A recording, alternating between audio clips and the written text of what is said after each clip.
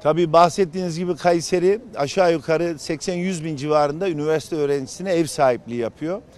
Bir önceki yıl pandemi dolayısıyla tabii ki okullar açılmayınca, üniversiteler açılmayınca belki bu sıkıntılar gündeme gelmedi. Ama daha önce bir takım cemaatlerin burada bu görevleri üstlenmesinden kaynaklı Kayseri içerisinde veya Türkiye genelinde bazı konuları devlet onlara sanki pas etmiş gibiydi. Fakat o cemaat denilen daha doğrusu FETÖ denilen örgütün aradan çıkmasıyla üniversite öğrencileri devlete sırtını dayama ihtiyacını hissetti. Kayseri içerisinde 80-100 bin öğrencinin nereden baksanız 50-60 bini şehir dışından geliyor.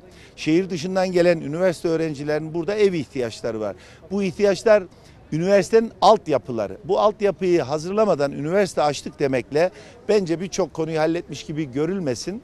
Kayseri içerisinde Erciyes Üniversitesi'nin ağırlığı çok fazla. Talas bölgesindeki bugün boş ev olmadığını veya rezidans diye tabir edilen yerlerde doluluğun olduğu, devletin de zaten yurt konusunda bir öğrenciye sıra verirken bu 20 bininci, bu 10 bininci, bu bininci sırada yedekle demesi gerçekten aileleri tedirgin ediyor. Üniversite bugün itibariyle sanki e, bazı üniversitelerimizde açıldı. Fakat aileler Kayseri içerisinde emlakçılardan ev aramaktan yılmış durumda. Ev sahipleri fiyatları tavan yaptırarak şu anda öğrencileri mağdur etme veya öğrencilerin üçü dördü birleşip de bir ev kiralayalım dediğinde rakamlar çok absürt yukarılarda. E, Türkiye gerçeği asgari ücret ortadayken başka şehirlerden gelen gençlerimizin bu sorunu aşmaları mümkün değil. Devletimizin bu anlamda bir üniversite yaparken üniversiteye müracaat edecek gençleri göz önüne almalı. Bu öğrencilerle ilgili yurtları da mutlaka tesis etmeli. Koskoca bir e, Kayseri'de 80-100 bin öğrencinin olacağı yerde atıyorum 2-3 bin 4 bin öğrenci için yurt yaptım demek aslında asgari ücret diye başka şehre çocuğunu gönderme demek.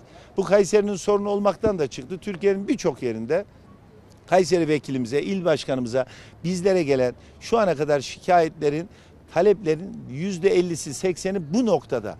Bu noktada beklenti içerisinde ama bununla ilgili yurtlar e, yüksek e, kurumunun benim gördüğüm kadarıyla çözüm noktasında hiçbir gayreti yok. Öğrencileri yedeğe almış, yedekte öğrenci umutla bekliyor. Kız çocuğu bu nereye gidecek? Otelde yer yok ne yapacak? Üniversiteye kaydını yaptırmış ev bulamıyor ne yapacak? Sokakta mı yatacak? Valla ben açık söyleyeyim devlet bu anlamda sokakta mı yatar, otelde mi kalır, okula mı gitmez algısı kaygısı içerisinde bence gençlerimizi mağdur ettiler.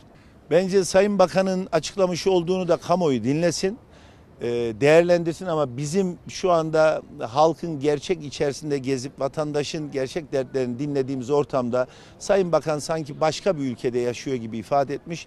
Şu an Kayseri'de benim bildiğim çok öğrenci yurtlara yerleşemedi. Çok öğrenci ev bulamadı. Çok öğrenci rezidanslarda yer bulamadı. Dün akşam Talas bölgesinde bir ailemizle ilgili bir rezidansa müracaat etmiştik. İnanın rezidans dolmuş boşalırsa diye bekleyen rezidansın kapasitesinin iki katı.